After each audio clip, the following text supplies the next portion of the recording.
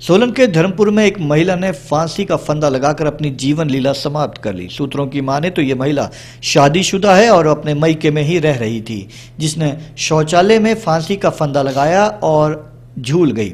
जब वे काफ़ी समय तक बाहर नहीं आई तो महिला के पिता ने दरवाज़ा खोला तो उनके पैरों तले ज़मीन खिसक गई। क्योंकि लाडों से पाली बेटी उन्हीं की आँखों के सामने फंदे पर लटक रही थी। उन्होंने तुरंत पुलिस को इसकी सूचना दी और उसे नीचे उतारकर अस्पताल में पहुँचाया, जहाँ उसे मृत घोषित कर दिया गया।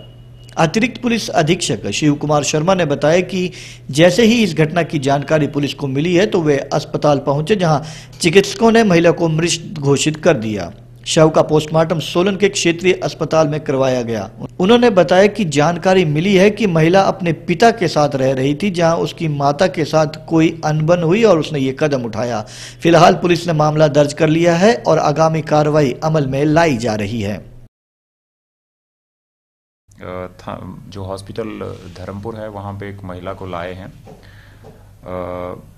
तो इसकी जब इंफॉर्मेशन को वेरीफाई करने के लिए एसएचओ और आईओ वहाँ हॉस्पिटल में गए।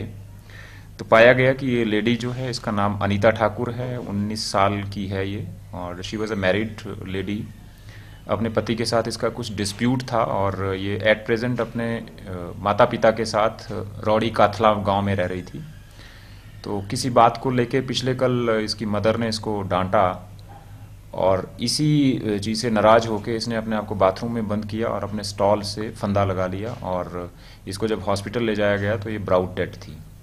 इसमें पुलिस ने 174 सीआरपीसी के तहत मामला दर्ज किया है। सबका पोस्टमार्टम करवाया गया है आज और बॉडी जो है उसके पेरेंट्स को हैंडओवर कर दी गई है। फर्दर इसमें जाँच जारी है।